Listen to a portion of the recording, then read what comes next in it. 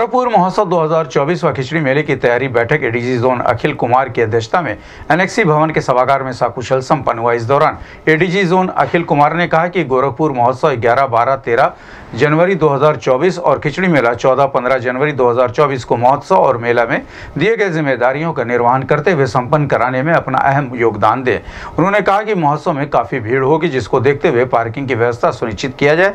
इसके साथ ही महोत्सव में किस किस विभाग का स्टॉल लगेगा उनके रहने की व्यवस्था किया जाए और सबसे ज़्यादा लोक कलाकारों को महोत्सव में मौका दिया जाए।